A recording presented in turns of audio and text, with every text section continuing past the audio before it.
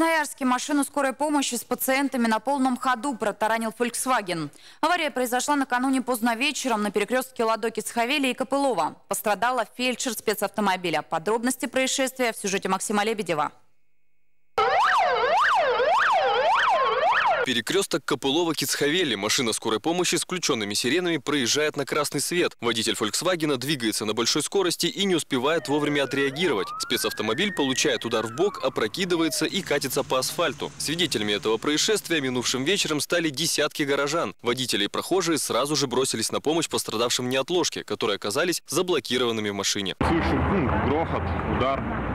Ну, понял, то, что случилась авария. Стал звонить спасатели в 112. Вот.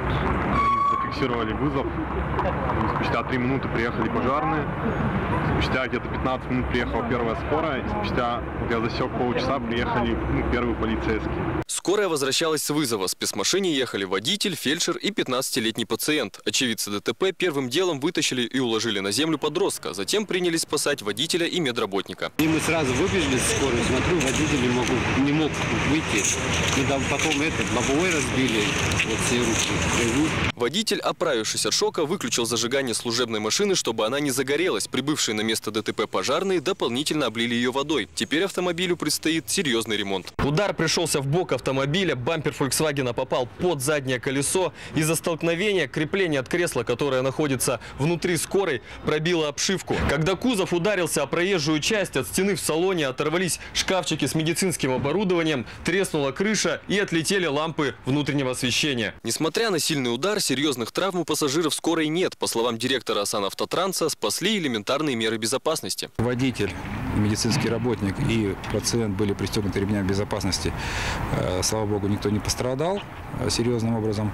Единственное, значит, пострадавший – это медицинский работник. Значит, у него э, ушиб руки, руки мягких тканей и легкое значит, сотрясение головного мозга. Пациент тоже не получил травм. С момента аварии его оперативно доставили в Красноярскую БСМП. Пациент доставлялся к нам в больницу по скорой помощи в связи с предполагаемым заболеванием. Э, в ходе произошедшей аварии не пострадал, и сейчас он, э, он получает медицинскую помощь в связи с поставленным диагнозом. Прибыл другой экипаж скорой помощи, и его привезли к нам. Водитель Volkswagen от комментария отказался, сославшись на плохое самочувствие после аварии, но сообщил, что место происшествия не покидал, дождался приезда полиции.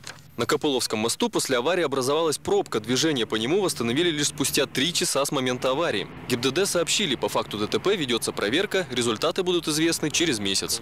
Елена Николаева, Максим Лебедев, Илья Синкевич, Седьмой канал.